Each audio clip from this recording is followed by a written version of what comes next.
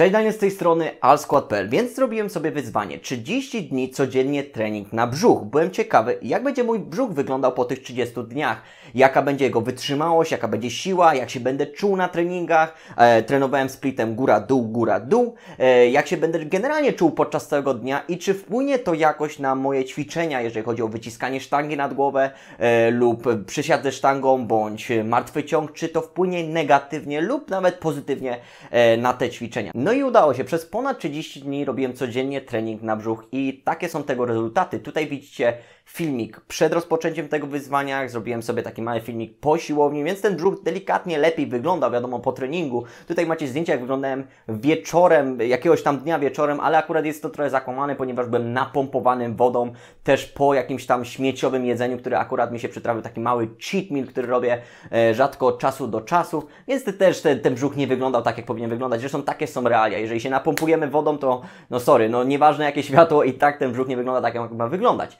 Jednak tutaj macie rezultaty, jak to wygląda aktualnie. Wiadomo, poziom tkanki tłuszczowej mógł delikatnie ulec zmianie, natomiast nie robiłem tej redukcji tak, jak ona powinna wyglądać. Praktycznie no, wcale nie przekładałem się do tego. E, zbudowałem trochę masy mięśniowej i siły, więc zaszła taka mała rekompozycja. No ale tak to aktualnie wygląda. Możecie sobie porównać jak wyglądało przed i jak wyglądało po. Ok, są rezultaty według mnie całkiem spoko i wielu z Was się pewnie zastanawia, jak to działa, jak długo trenować ten brzuch praktycznie codziennie, 40 minut go bombać, jeżeli chcecie oczywiście sobie zrobić to wyzwanie. I też niekoniecznie musicie, ale o tym wszystkim powiem. Podzielimy sobie to wszystko na cztery takie części. Po pierwsze, opinia. Jaka jest opinia publiczna, ponieważ każdy może Wam sugerować in, inną częstotliwość treningu na brzuch. Niektórzy nawet powiedzą, że w ogóle nie musicie trenować brzucha, wystarczy, że będziecie robić poszczególne ćwiczenia, na przykład wielostawowe, gdzie stabilizacja tego brzucha jest bardzo istotna. Ja się z tym niekoniecznie zgodzę. To nie jest optymalny sposób, aby wyrobić sobie ten six-pack oczywiście, o ile na nim Wam zależy, ponieważ silny brzuch, a silny brzuch i dobrze wyglądający brzuch to jest coś innego. Jeżeli myślimy o silnym core, to jest coś innego niż na przykład silny, prosty e, brzucha i dobrze wyglądający, tak? Więc to są dwie różne sprawy. Zresztą niektórzy mogą sugerować, że podczas przysiadu czy martwego ciągu wystarczająco dobrze pracuje brzuch. Z tym się też nie zgodzę, ponieważ sama aktywacja prostego brzucha nie jest tak duża. Oczywiście stabilizacja jest tutaj konieczna, jednak jeżeli chodzi o pracę nad tym sixpackiem, to nie będzie optymalny po prostu sposób. Inne osoby będą mówić, że raz w tygodniu, dwa razy w tygodniu, trzy razy, pięć razy obojętnie, więc ta częstotliwość już zależy od e, długości tego treningu, intensywności tego treningu, poziomu zaawansowania, jak to generalnie wygląda, ile macie czasu. Więc według mnie raz w tygodniu to jest takie minimum. Maksimum, wiadomo, codziennie możecie bombać, jednak trzeba to zrobić z głową i oczywiście powiem Wam, jak ja to zrobiłem podczas tego wyzwania. Ok, teraz kilka słów, jak wyglądał mój trening przez ten cały proces. Więc trenowałem splitem góra-dół i oczywiście podczas każdego treningu miałem główny trening na brzuch. E, miałem drążki, miałem abuile, więc mogłem się z tym bawić. E, następnie miałem do dwóch treningów cardio, e, które robiłem w domu, jakieś tabaty bądź na siłowni, schody, bieżnie, czy też e, orbitreki, obojętnie co mi wpadło głowy, lub po prostu w plenerze. I wtedy też robiłem treningi na brzuch, na przykład w domu, jak, lub jak byłem na siłowni.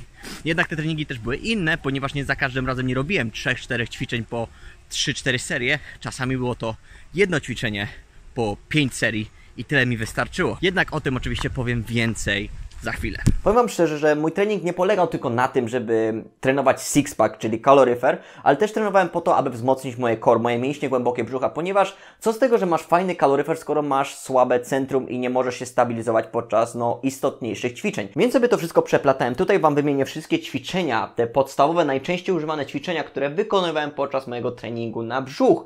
I między innymi możemy tam znaleźć upwill, co jest dla mnie obowiązkowym ćwiczeniem, e, wzniosy nóg na drążku lub na poręczach i generalnie to są te dwa ćwiczenia, które bym polecił każdemu. Jeżeli możesz wykonać tylko te dwa ćwiczenia, to generalnie Ci to starczy. Ale jeszcze były Allahy, jeszcze były Russian Twisty z ciężarem, były też, była też praca z rotacji z gumą lub na wyciągu i w antyrotacji. Do tego jeszcze planki bokiem. E, planków zwykłych nie robiłem, ponieważ razem z upwillem po prostu wydłużałem e, tą fazę na samym dole, więc tu też pracowałem jakby w tej pozycji, nie było konieczności, aby dodać tradycyjny plank do tego, ale też była praca na piłce, więc oczywiście w pozycji planku ze skrętami, z rotacją, więc to były najczęstsze, najczęstsze ćwiczenia, których używałem sporadycznie robiłem też brzuszki, jeżeli chciałem po prostu na szybko czasnąć sobie trening na brzuch. No i oczywiście kwestia efektów, jak to faktycznie wyszło i niektórzy z Was mogą powiedzieć, że nie ma większej różnicy e, między tym, co było, a co jest i to też tak naprawdę nie jest istotne, e, ponieważ według mnie jest różnica. Ja czuję tą różnicę, może na filmikach tego nie widać, może na zdjęciach tego nie widać. Ja osobiście poczułem tą różnicę, jeżeli chodzi o wizualny efekt, ale co najważniejsze, poczułem e, różnicę, jeżeli chodzi o siłę, o wytrzymałość e, mojego brzucha. Jestem w stanie zrobić więcej e, niż byłem w stanie zrobić przed tym wyzwaniem. Jestem w stanie zrobić rzeczy, których nie byłem w stanie zrobić. Nie wpłynęło to w ogóle negatywnie na te najważniejsze ćwiczenia. Nawet poprawiło to te ćwiczenia, więc szczerze mówiąc, robiąc ten brzuch codziennie, nie odczułem żadnych negatywnych skutków. Odczułem same pozytywne skutki, jednak no, powtarzam to jeszcze raz. Nie katowałem tego brzucha codziennie po 40 minut i na to też warto zwrócić uwagę. Dobra, przedstawiłem Wam ćwiczenia, które wykorzystałem podczas moich treningów na brzuch, ale dlaczego Dlaczego ich bardziej nie opisałem? Dlaczego nie przywiązałem więcej, większej uwagi do tych ćwiczeń, do opisu, do prezentacji i tak dalej? Ponieważ są one nieistotne. Ja już mam wiele treningów na tym kanale na brzuch i każdy z tych treningów jest dobry i każdy z tych treningów możecie wykonać codziennie, oczywiście z odpowiednią intensywnością, do czego chcę przejść, ponieważ Istotniejsza będzie intensywność treningu, a nie to, jakie ćwiczenie wybierzecie, ponieważ równie dobrze treningiem na brzuch, jeżeli planujecie robić ten brzuch codziennie, mogą być cztery serie Abuila. I to wszystko. Lub cztery serie Abuila i dodacie jeszcze jakąś pracę w rotacji, czy tam Russian Twist, czy tam skręty tułowia z gumą treningową,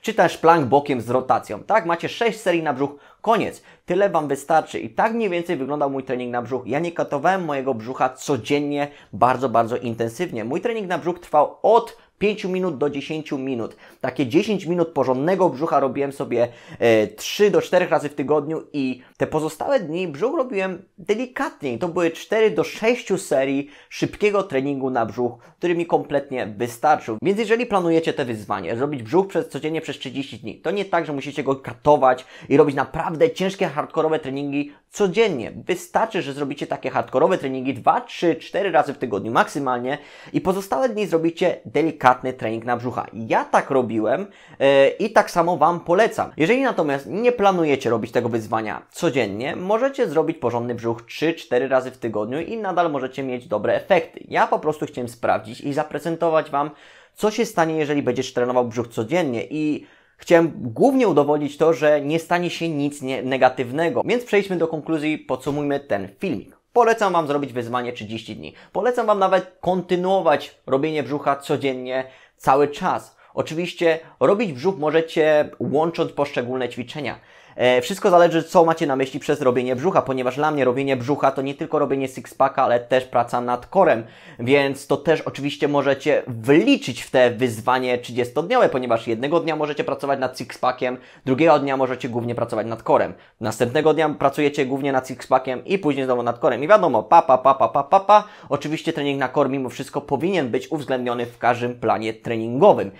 Więc tak to mniej więcej wygląda. Jeżeli chcecie, napiszcie mi w komentarzach, że wypróbujecie ten, te wyzwanie treningowe 30 dni. Oczywiście po 30 dniach zgłoście się do tego filmiku i powiedzcie, jakie są rezultaty. I teraz najważniejsza rzecz, ponieważ pojawi się pytanie, czy po 30 dniach, jak wykonam te wyzwanie, będę miał kaloryfer? Więc tak, wszystko zależy od poziomu tkanki tłuszczowej. Jeżeli aktualnie masz niski poziom tkanki tłuszczowej i nie ma za bardzo tego kaloryfera, to po 30 dniach oczywiście będziesz widział fajniejszy brzuch. Natomiast jeżeli teraz masz sporo tkanki tłuszczowej na brzuchu i nie zadbasz o to, żeby spalić tą tkankę tłuszczową przez te 30 dni, możesz po prostu robić redukcję i dalej trenować mięśnie brzucha, no to za bardzo tam się nic nie zmieni. Więc musisz pamiętać o tym, że poziom tkanki tłuszczowej jest bardzo, bardzo istotny, jeżeli chodzi o odkrycie mięśni brzucha, a robienie tylko brzucha codziennie przez 30 dni, nie zwracając uwagi na przykład na inne ćwiczenia, e, które oczywiście pomogą Ci w tym procesie redukcji i oczywiście dieta, o której nie wspomniałem, a powinienem, no to to jest ten klucz do tego, aby ten kaloryfer faktycznie był widoczny.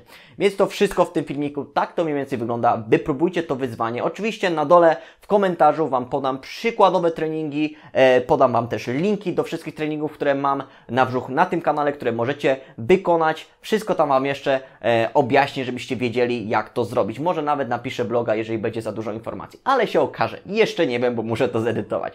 Trzymajcie się i powodzenia, jeżeli planujecie takie wyzwanie. Cześć!